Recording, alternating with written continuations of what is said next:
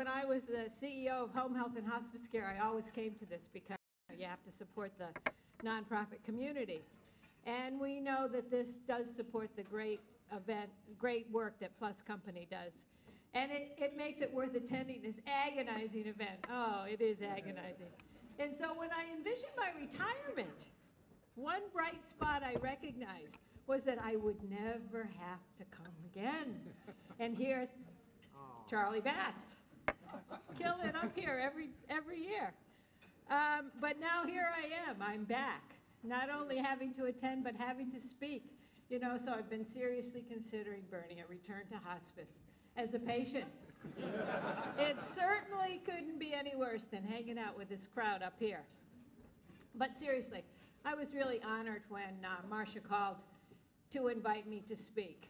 Uh, I want to thank um, Bernie Streeter for his continued support of the Plus Company and the great work that the Plus Company does. For 40 years, they've really made an enormous difference in the lives of adults with disabilities.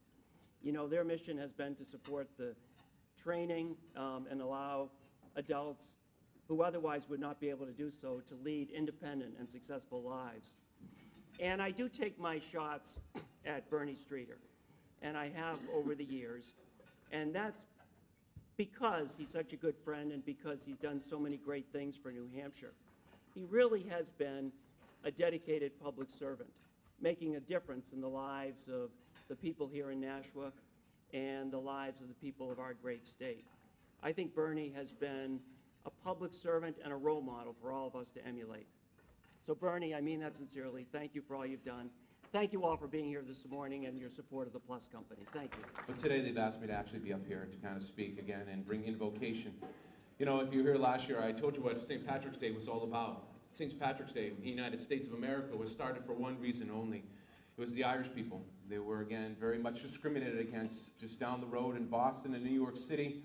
On the front of stores, it would say the Irish need not apply. They were considered dumb, they were considered ignorant, and they were, again, because of their accents and because of their last names, again, their dignity was lost. And they pulled themselves up as a community, a community of people who felt strong about themselves. They began to serve the community of people that discriminated against them. But today we've come for other people who hold their head up high.